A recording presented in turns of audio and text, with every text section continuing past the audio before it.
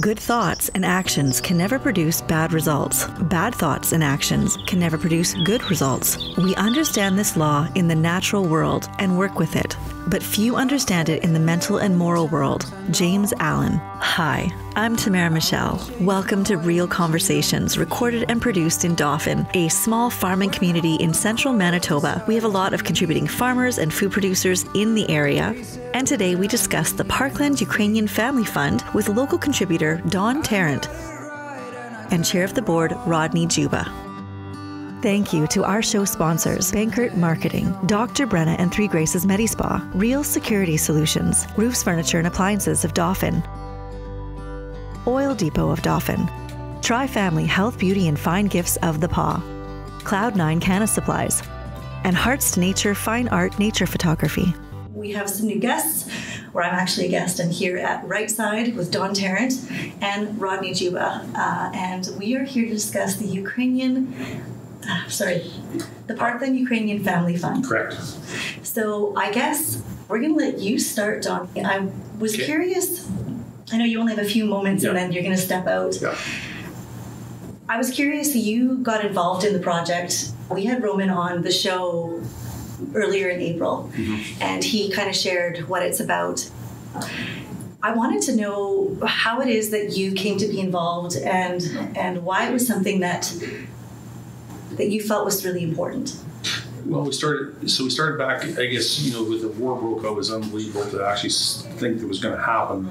And then uh, when it broke out, is you know, what can we do to, to help out? And so, I mean, I just you know, you, you really want to do something, and, and so uh, you come up with the idea, and I work with. Uh, just come to me one Sunday saying, you know, like it's you know where we live is a really really good place. I mean, we're safe. We got lots to eat. We're warm, and I'm sitting at home with my granddaughter, and um, you know we gotta you know do our part to help these people. And just the idea come to me, and I had worked uh, that week with uh, Daryl Zamerka to get get it all figured out, uh, get it all put together. And Daryl had uh, was with the uh, uh, Folkart Center Museum and Inc. So he was with them. He talked to the board. We had the decision that uh, within a day that they would take this project on. Um, so then we made an announcement of March the 9th to fundraise to bring in families. And when we started it, thought, well, we can do one or two families uh, was our initial goal. Um, then other people like Father Brett Kuzik and Lindsay Rubinik. Uh, Lindsay's an immigration has her own immigration company, and she works works with school division. Um, she got she said she's seen the idea. She said I like it. Let's uh, I'll help out. So she's been a huge huge help to get it going. Father Brett Kuzik helped. He says okay, I'll, I'm gonna I'll do my part too. And from there, Father Brent got uh, committee, uh, asked Rodney to put a committee together, Rodney and Martijn Van Luzen. And then they started their committee, uh, the, the family support team. So it's been started by myself and Daryl Zamercut and just grown uh, a lot since then. It sounds wonderful. Um, even from talking to Roman earlier in April, it, uh, it sounded like there was a huge group of people and privately funded, which I think is, you know, as far as projects go, it's, that's really fascinating because it's very rare.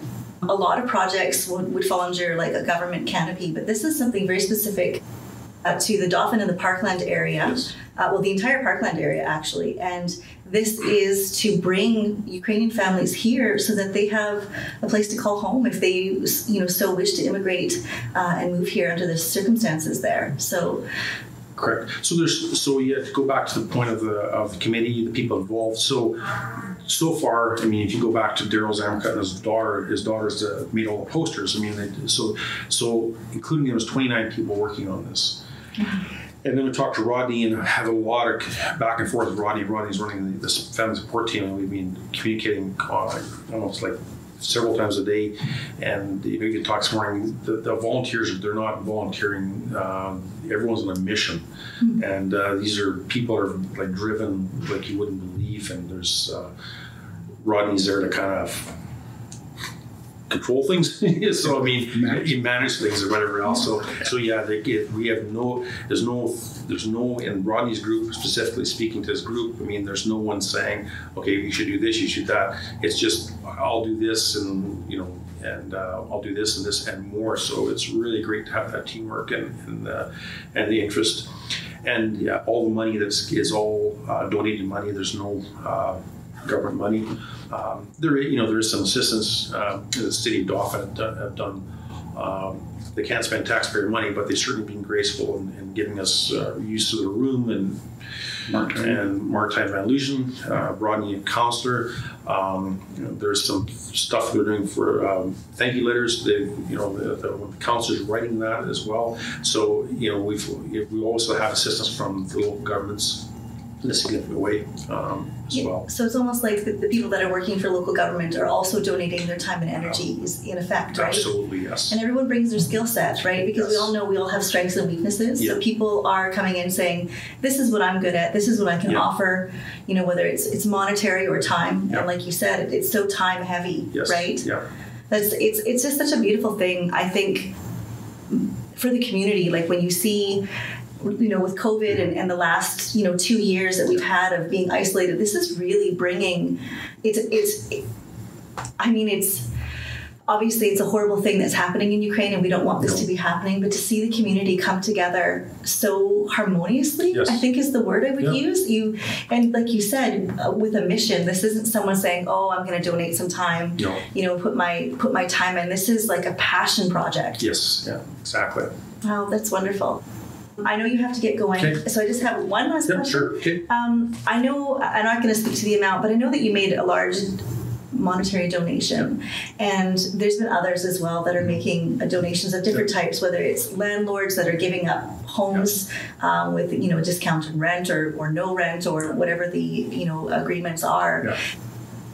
Why why was it was this was this a way for you to kind of push the project forward or what was your reasoning? Well, so we, we started off at twenty five thousand dollars, um, and the reason is we wanted to make sure it was significant enough that people uh, would jump in and and be uh, significant as much as they could as well.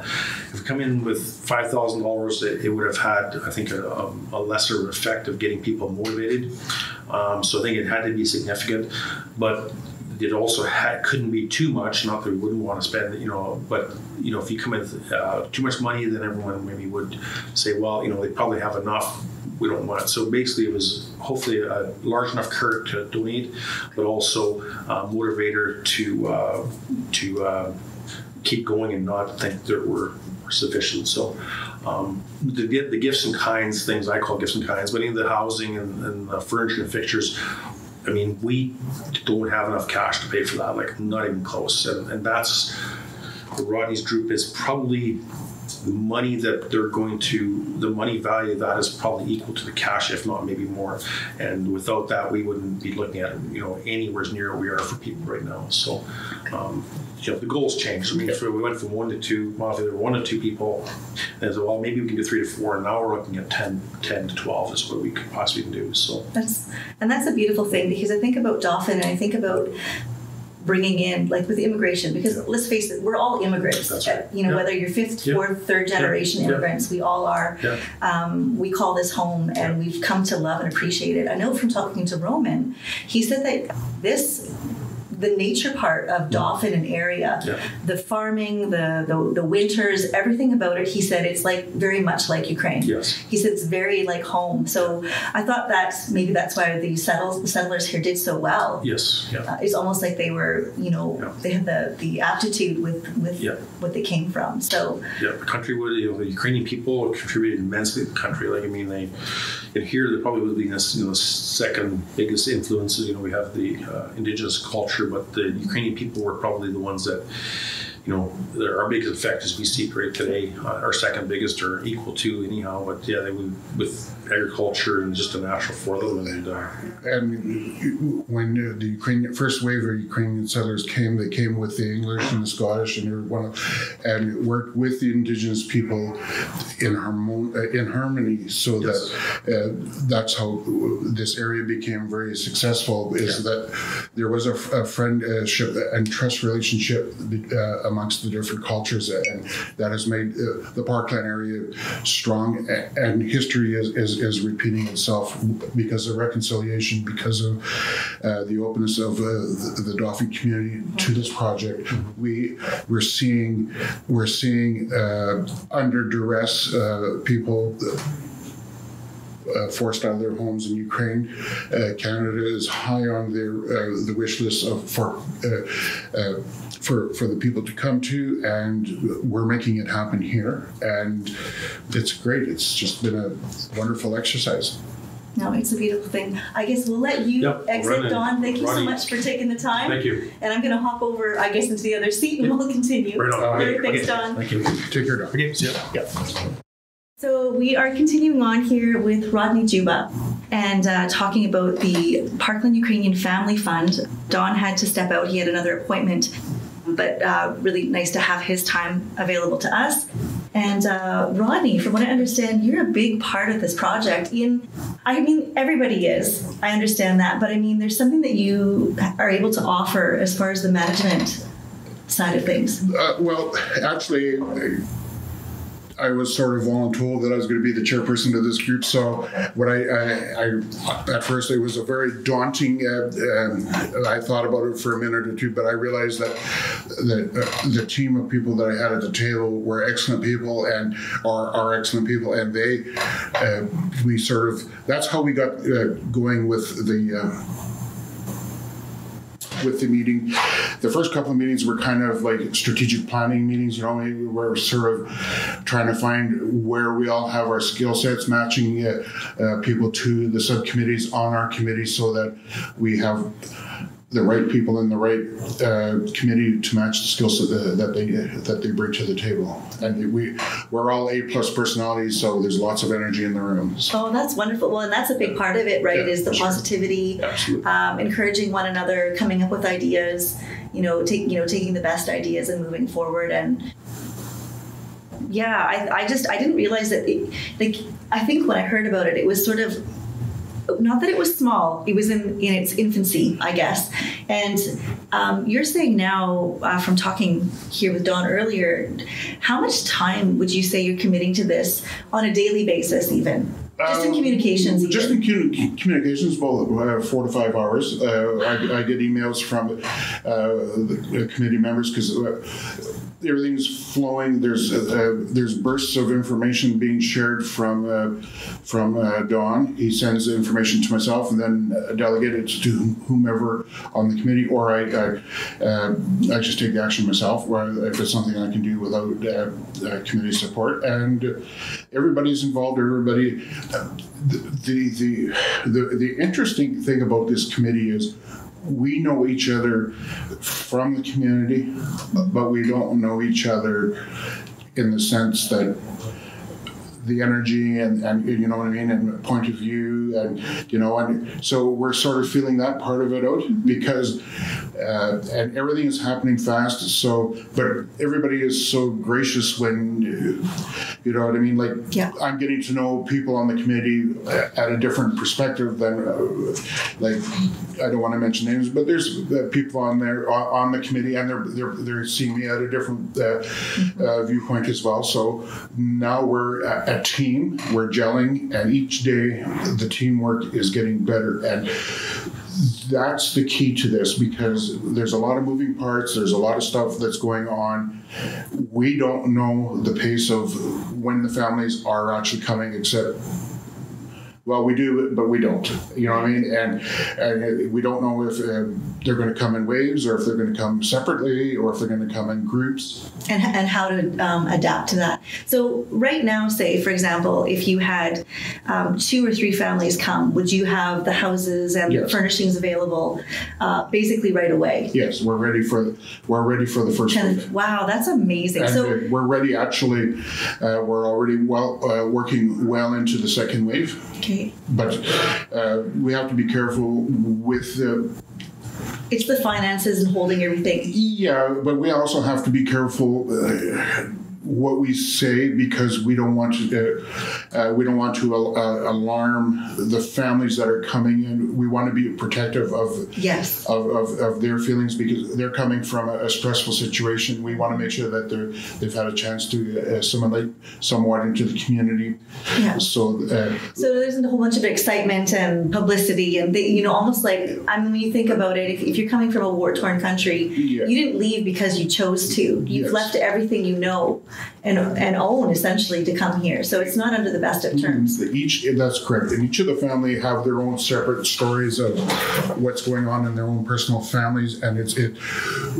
We have a system set up so that once the families come, they will be uh, they, well. They've already been interviewed by uh, the family selection team. They've been accepted into uh, the program when they come to Dauphin, uh, Deborah Slomsky and her team will have a chance to uh, meet the families, set them up with their essentials.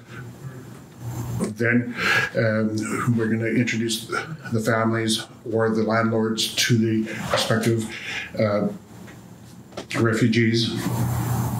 And then have them sort of have a meet and greet and just sort of we're not going to just drop somebody off on somebody's door doorstep and then leave and then excuse me after there's a i don't want to get into too much of the plan because it's all subject to the parameters of what other organizations uh, but we, we we're not just going to, to drop the, uh, the, the families and say okay well thanks for coming and and uh, you're on your own Yeah, we will support them and that's why we're here the support team That's good. And and yeah, and I guess I mean when you think about the dynamics of it, it's like looking in from the outside, it's so large because you've got language, so you need, um, you know, um, capable interpreters. You need, um, you know, not just the financial and the and the you know the physical support of food and, and housing, but you know the psychological supports. Like there's just so much to this Absolutely. that that you know I, I just think it's just amazing that you've had a, such an incredible turnout of people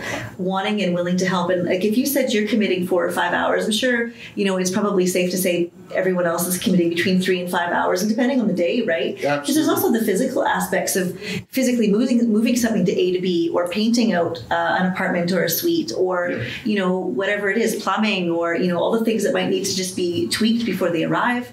And the receiving families uh, have been notified, so they, like you say, they're they're uh, preparing their uh, their uh, their spaces for the uh, for the families. So yeah, there's a lot of different things going on. Uh, we're well organized. We have. Um, we have all, uh, and we're learning. Like I say, every day is a learning experience for us, and and we're, we're just gonna we want to make sure that we're as, as set up as we can possibly be.